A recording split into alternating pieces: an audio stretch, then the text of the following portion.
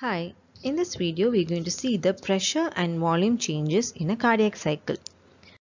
So this question has been asked before as a part of a short essay question but mainly as draw and label questions in which they'll ask you to draw the cardiac cycle or uh, draw, the, draw and label the left ventricular pressure changes during a normal cardiac cycle and right ventricular pressure curve during a normal cardiac cycle.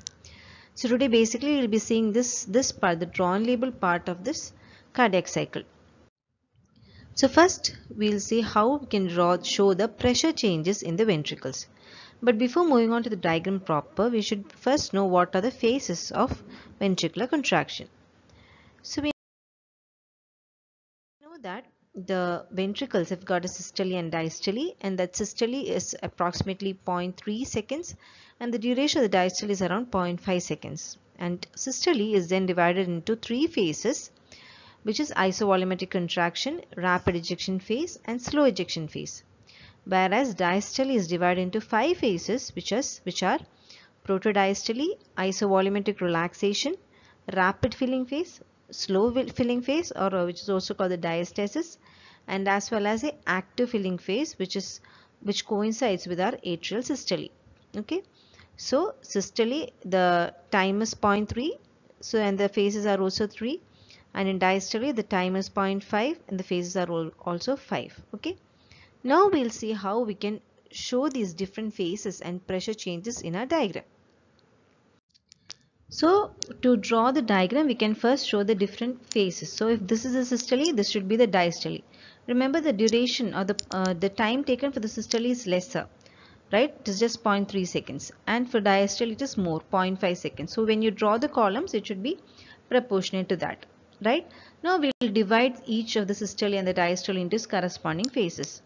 So for that you should roughly know which is which phase is bigger and which is smaller okay? So for during ventricular systole the first phase is isovolumetric contraction in which you can see that it is just just of 0.05 seconds. So you can draw a very small column to depict that part okay?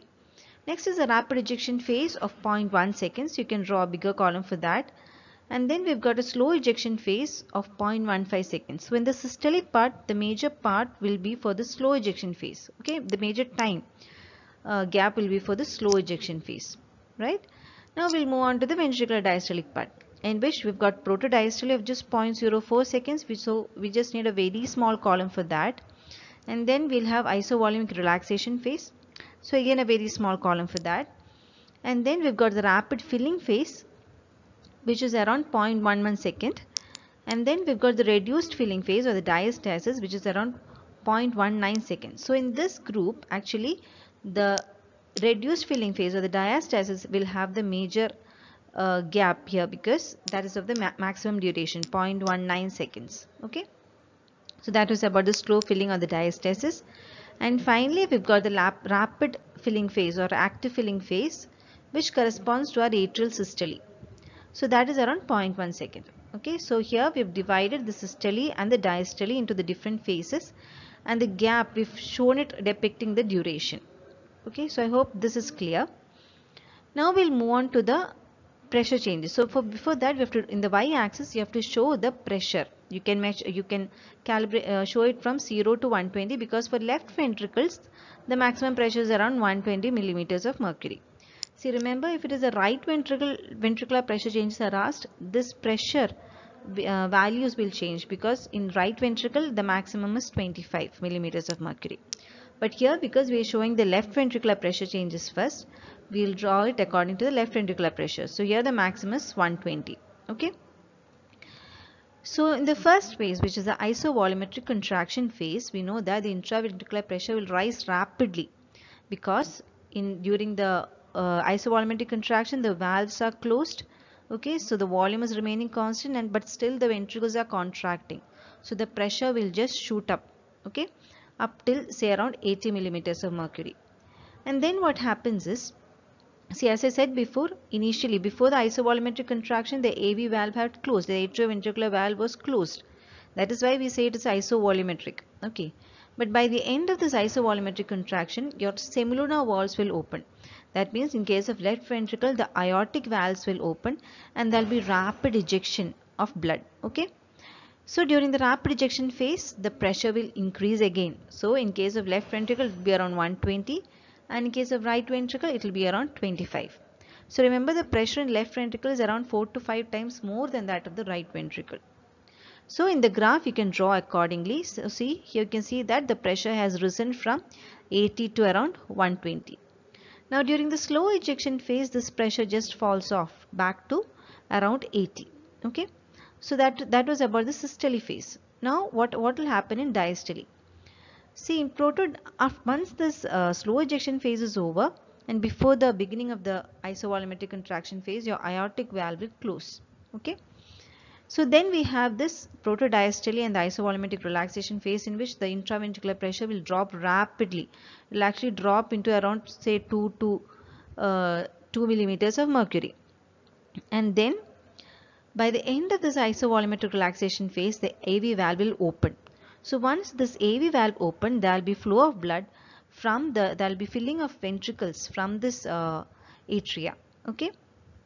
So we can see that the pressure is less and the there'll be filling the filling during the filling time the pressure will be maintained at a very low level say around 2 millimeters of mercury and then finally, it is when the last phase, that is during that active filling phase, which correspond to atrial systole, that there will be a slight increase in the ventricular pressure, which will be around 6 to 7 millimeters of mercury in the right ventricle. And in case of left ventricle, it will be around 7 to 8. That's the only difference. Okay. So, by that, by this phase, you have completed one cardiac cycle.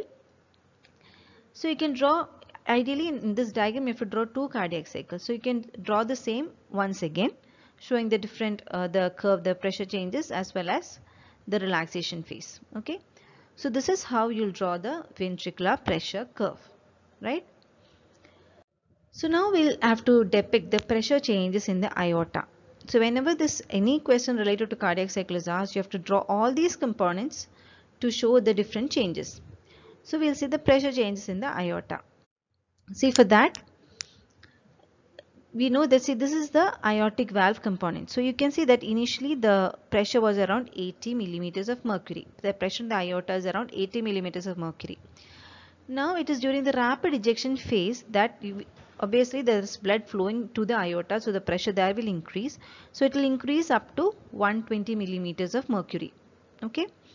And by the end of the rapid ejection phase that increase in pressure will fall off and then there will be slight decrease in the pressure there will be fall in the aortic pressure okay so here you can see that initially the aortic pressure was less than that of the left ventricle but after that the the pressure in the aorta is slightly more than that of the left ventricle. So when you draw that you have to draw it like this. Initially less than left ventricle. After that just slightly more than left ventricle. Now by the end of this isovolumetric uh, I mean uh, by the end of this ejection phase the aortic valve will close. And after that here you can see that there's a slight drop in the pressure. That is because there's a sudden closure of the semilunar valves that is why we've got a slight dip here and that is known as a dicrotic notch so here you've got the slight notch here and then and after that there will be a very smooth decline in the pressure of the aorta. Okay? So see initially during the rapid ejection phase there was increase in the pressure. It reached up to 120 and then it decreased up to 80 and then when uh, suddenly when the semilunar walls close there's a slight drop in pressure which causes a dicrotic notch and then it smoothly declines so that is how you'll draw the aortic pressure curve right? Now we'll see the pressure changes in the atria. So in the atria the pressure changes will be something like this. So here you can see that basically there are three waves the a wave the c wave and the v wave. Here also the a wave c wave and v wave. So what do these depict? So the A wave is caused due to atrial systole, right? So that is why, so when there's an atrial systole, obviously the pressure in the atria will increase. So that is why we've got a slight increase in pressure during the atrial systole. The next wave, that is a C wave, it occurs at the onset of the ventricular systole. That is because the cusps, here, here we know that we've got the atrioventricular valves. So the cusp of this tricuspid valve will bulge into the atria. During that time also the pressure in the atria will increase. That is depicted by the C wave, right? So when there's a ventricular systole, the walls will bulge into the atria and that will cause a C wave. Okay. Next we've got the V wave which is due to the ventricular filling or uh, the atrial filling which is due to venous return. See via the vena cava the venous return is entering into the atria and there is atrial filling. So that is why now the pressure is increasing and that is depicted by the V wave. So to remember this you can remember it as A is for atrial systole, C is when the cusp bulge into the atria and V is for venous return. So when you remember like this you will know the cause of each of these uh, waves the A, C and the V waves. So that is how you will draw the atrial pressure curve. Now moving on to the volume changes or the ventricular volume changes. So before you can show the volume changes, you have to first mark on the y-axis the different volume. So in case of left ventricle, we know that it should range from around 50 to 130 because 50 is our end systolic, 40 to 50 is our end systolic volume and 130 ml is our end diastolic volume. So the range should be between 50 and 130. Okay. Now our first phase is isovolumetric contraction phase. As the name suggests, it is isovolumetric. So there will not be any change in the volume okay so you can draw a straight line at this 130 level next what happens there is ventricular ejection. So at this time the volume will decrease okay until it reaches the end systolic volume which is around 40 to 50 ml right? And then we've got the isovolumetric relaxation phase. So here again there will be no change in the volume because it is isovolumetric okay? So the volume uh, will be constant. The next phase is the filling phase. So it is during this time that the volume in the ventricles will increase because it is being filled with blood. Okay. And then finally during the atrial systole phase, see by the time it has reached atrial systole almost 75 percent of the volume of the blood has already flown and is only that additional 25 percent uh, percentage is attributed to the atrial systole. So here you can see that there is a sudden increase in volume because of atrial systole and now the volume is as the end diastolic volume which is 130 ml okay? So that is how you'll draw the different volume or volume changes of the ventricle during a cardiac cycle. So you can draw two cardiac cycles and then mark it as the ventricular volume changes. Okay? Now our diagram will not be complete until we draw the electrocardiogram and the phonocardiogram. So first we will see the electrocardiogram. So we know that the basic waves are the P, Q, R, S and T. So we know that the P wave is responsible for the atrial systole. So before the atrial systole we have to draw the P wave, right? See only, only after the P wave arises that there will be atrial depolarization. So before the atrial systole we will draw the P wave. Then before the ventricular ejection Okay, we know that it is when the ventricles are depolarized that it will contract and lead to ejection of blood. So, in, before that contraction, we have to draw the QRS complex showing that there is ventricular depolarization. So, before the ejection phase, you have to draw the QRS complex. And then we've got the T wave which represents the ventricular repolarization.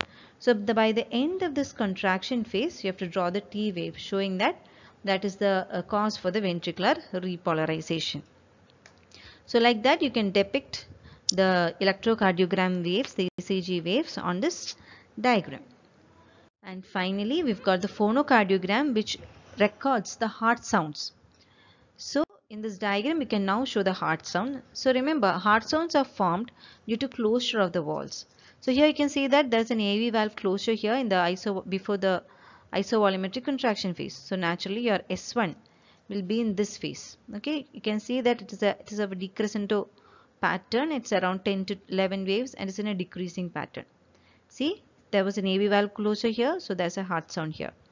Next, you can see that there is an aortic valve closure here in the isovolumetric relaxation phase. So here again we'll have an S2 in which the waves are almost of the same uh, amplitude and so that is the S2 wave corresponding to the aortic valve closure.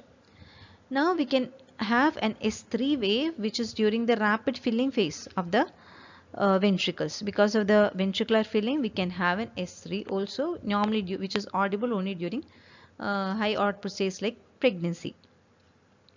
So like that you can draw it for the two cardiac cycles and mark it as a phonocardiogram.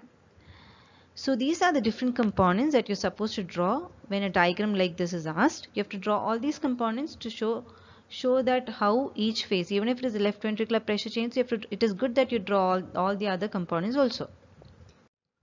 So to summarize, we to draw this diagram, we first uh, divided the phase into systole and a diastole and then showed the different phases, the isovolumetric contraction, the rapid ejection and the slow ejection.